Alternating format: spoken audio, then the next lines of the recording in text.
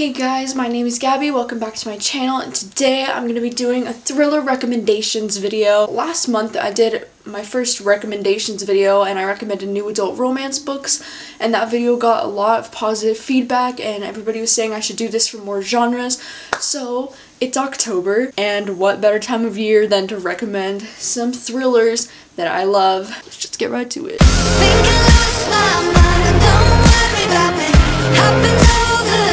first one I'm going to recommend to you today is Gone Girl by Gillian Flynn. And I know you're probably like, oh my god, why do you even need to recommend this? Everybody's read Gone Girl, but like, I just need to mention it because this is one of my favorite thrillers of all time. And if you love thrillers, it's like step one, read Gone Girl, you know? So if you don't know, it follows this guy named Nick whose wife Amy goes missing. And yeah, that's pretty much all I can say plot wise. Um, but this book is so intense. It is a little bit slower paced than some thrillers.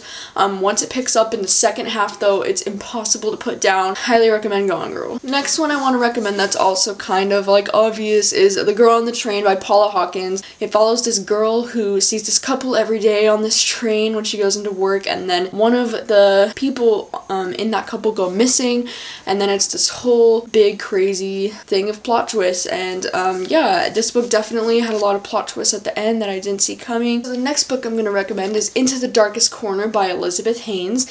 And this book follows this girl named Catherine who is in this relationship with this guy named Lee who's like super like crazy kind of and almost like abusive and just really controlling and creepy. And um, she finally like gets away from him and he's in jail. And then this book take pla takes place four years later. Darkness from her past is catching up with her and she like thinks she can like feel him everywhere she goes. This book is definitely slower paced than a lot of other thrillers I've read, but it's also really, really, really good. This book had one of the most like creepy endings. Like it gave me freaking chills. The trauma from her past definitely still affects her, so it makes the book a little bit repetitive and slower paced, but once you get towards the end, it's definitely worth it. It's so freaking intense, and I still consider this to be one of my favorite thrillers. I just, I love it so much. Next one I'm going to recommend to you today is The Kind Worth Killing by Peter Swanson. This book is about a guy who catches his wife cheating on him, and so one day when he goes to the airport, he's randomly talking to this woman in a bar, and he's like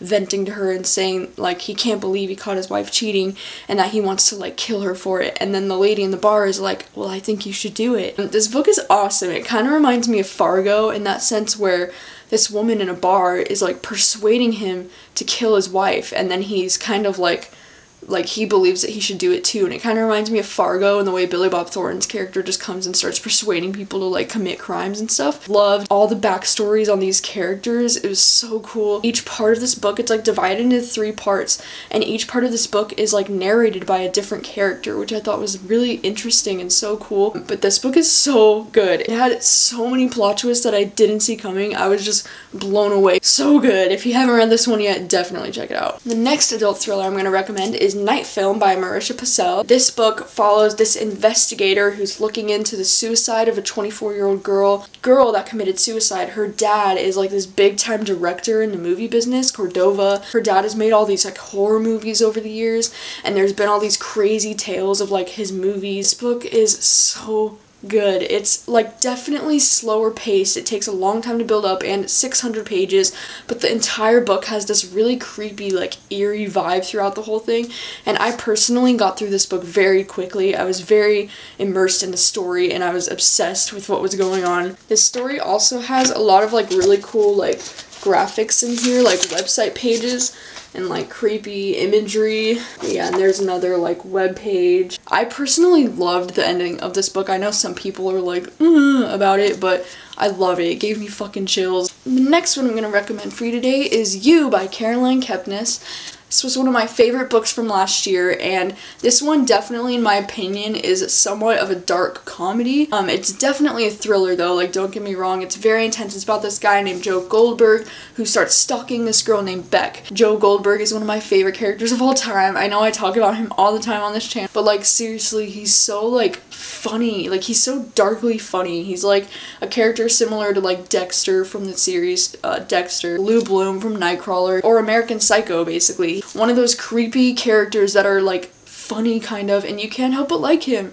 And I love this book. I love everything about it. It's so intense. It's fast paced and the next one I want to recommend to you today is Unravel by Calia Read. And this book follows this girl named Naomi who is in this uh, psychiatric hospital. While we're reading this book, we follow her while she's in the hospital, and then we follow her flashbacks from when she was in college. Holy shit, this book had one of the biggest plot twists I've ever freaking read. I like literally like like dropped the book and was like what? I couldn't believe that I didn't see it coming but like holy shit it like changed the game. That plot twist though.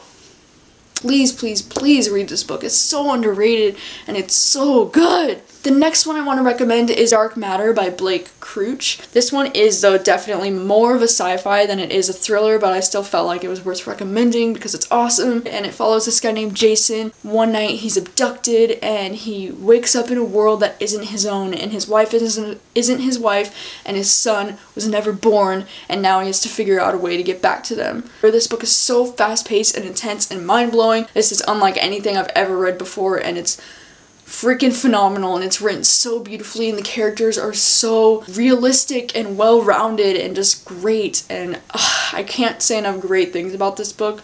It's definitely one of my favorite books of all time so definitely go check that one out. And the last adult thriller I have for you today, romantic thriller. So this one's definitely a heavily romance and thriller, and that is He Will Be My Ruin by K.A. Tucker. This book is about this girl who finds out her best friend committed suicide, and so she goes back to her apartment in New York to like clean it out, but she has this strong belief that her friend didn't actually commit suicide, so she starts diving into her friend's past, and while she does, she discovers a ton of shit about her friend, and she also has this romance going on between the building's super and this guy from her best friend's past who was somehow involved. It was really good, and yes, so definitely recommend this one. So the first young adult recommendations I have for you today is Dangerous Girls by Abigail Haas. This book follows this girl Anna and her best friend Elise. They go on this vacation to this foreign country with all of their friends. Anna's best friend Elise is found murdered and everybody in her group thinks that she did it. Super intense, super interesting. This book reminds me of like Gone Girl meets Mean Girls.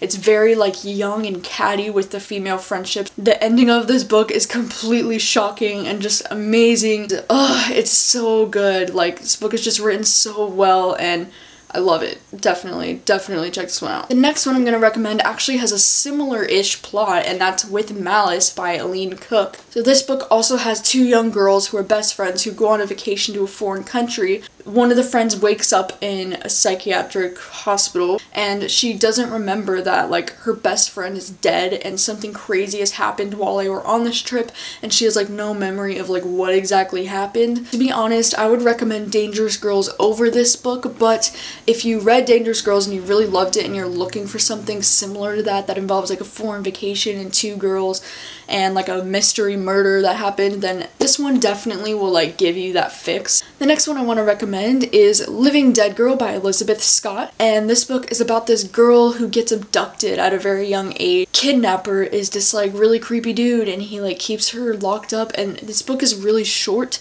It's very easy to read. I read it all within like one night and I believe it only took me like an hour. It's very short. And this book is just very like intense. It definitely keeps the pace throughout the book. The way this book ends was really like whew, so intense. Next one I want to recommend is Shadowlands by Kate Brian. And this book is about this girl who is being stalked by one of her high school teachers. The police work with her so they they can move her family to Juniper Island so that she can get away from this teacher that's stalking her. This book is just so intense and it's so underrated to be honest. Like I feel like nobody's read this book, but it's so good. It's like and it's written like beautifully and fast paced and the ending of this book has such a freaking huge plot twist and this is like a part of a trilogy so the plot twist at the end of this book like changes everything for the rest of the series. It's such a good thriller like more people should read this honestly. It's just it's really really really really good. The next one i have to recommend is 172 hours on the moon by Johan harstad. Paranormal thriller that takes place on the moon which is freaking epic in my opinion, and it's unlike any thriller I've ever read before. These three young people got chosen to go up to the moon with a couple of other astronauts, and then while they're on the moon, all this weird paranormal freaky shit starts happening. This book was so creepy. Like I read it late at night and it gave me freaking chills. Like it was so good. And this book has one of those endings that you're just like, freaking awesome. So definitely recommend this one. And the last recommendation I have for you today is The Cellar by Natasha Preston. I wasn't going to include it in this because I wasn't a huge, huge fan of this book, but I thought it was still a decent enough thriller to mention.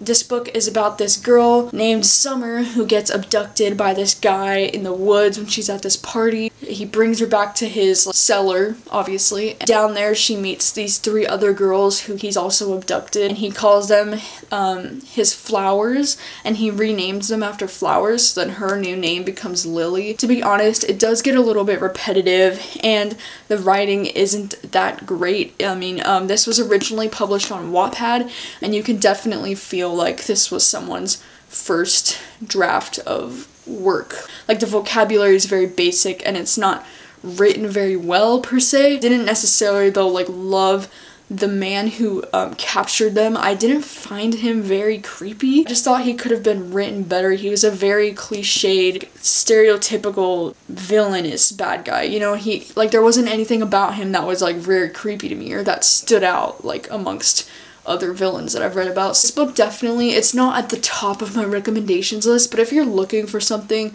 that involves like kidnapping and something that's like darker and intense, then I would recommend this one. Um, but don't expect this book to get too dark because it never really does. But I do recommend this one. It does have an interesting story, and yeah, if that sounds at all interesting to you, then give it a read. And some people love it, some people hate it, and I'm somewhere in between. So those are all of the thrillers I have to recommend to you today. I'm thinking about doing like contemporary um, recommendations just because I have so many of those, but breaking it down into like subgenres, you know, with contemporaries because I do have like way too many of those. Have you read any of these thrillers? What are your thoughts on those? Um, if you have any recommendations for me, then please let me know. I'm always looking for new thrillers, especially this time of year. I just want to read more thrillers. Yeah, so thank you guys so much for watching as always, and I'll see you guys next time. Yeah.